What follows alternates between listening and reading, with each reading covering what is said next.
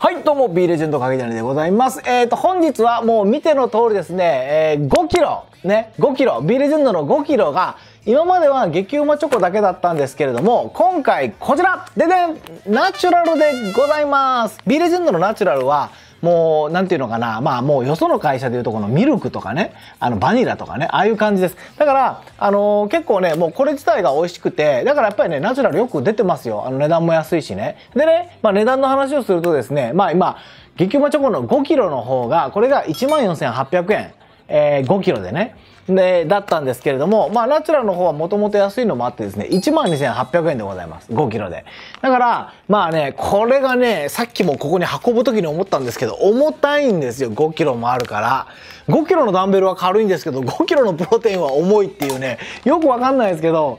多分先入観ですよね。こう、でかいから。なななんせでかいから5キロこうねあの鉄アレイであのバーベルで持つよりもあのなんか重く感じるんですけどまあ本当にねえー、っとね僕で大体月にうん、3キロぐらいかな飲むんですけれども、まあ多い時で4キロ、4キロは飲まないかな。まあ4キロ弱ぐらい飲むんですけど、あの、やっぱりヘビーユーザーの方はね、月に5キロ飲むって方、やっぱりいらっしゃるんですよ、結構ね。だから、そういう人はね、本当にこの5キロはまあいいんじゃないかなと思います。やっぱりね、あの、1キロずつこうね、開けてするの結構邪魔くさいっていう人もいらっしゃいますし、まあ本当理想のこと言えばね、1キロで袋買ってもらって、つどつど1キロずつ開けてもらうっていうのがいいんですけど、まあ月に5キロ飲むっていうことは、1週間かかんないですよね。6日で1キロぐらい？そうか、6日で1キロか。とするならば、あの、5キロだと思うんですけど、まあ、それぐらいのペースで飲んでると、まあ、やっぱりね、あの、開けて、どのこうのとか、もう、これもね、袋こんだけでかいですから、ね、こんだけでかいですから、もう手ズボッと突っ込んでも OK だし、あの、どっかにね、入れ替えても OK だと思うんですけど、まあ、これだったら本当にね、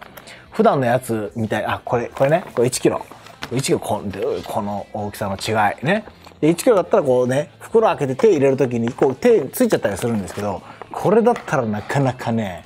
つかないっすよこのサイズ感だったらねだからまあそういった意味でもねまああのこの5キロのもの、まあ、ヘビーユーザーのね、えー、方はですね、ぜひまあお買い求めいただいてはいいんじゃないかなと思います。結構ね、びっくりすると思いますよ。でっかくて。これ本当重い、重い。5キロなのかな本当に。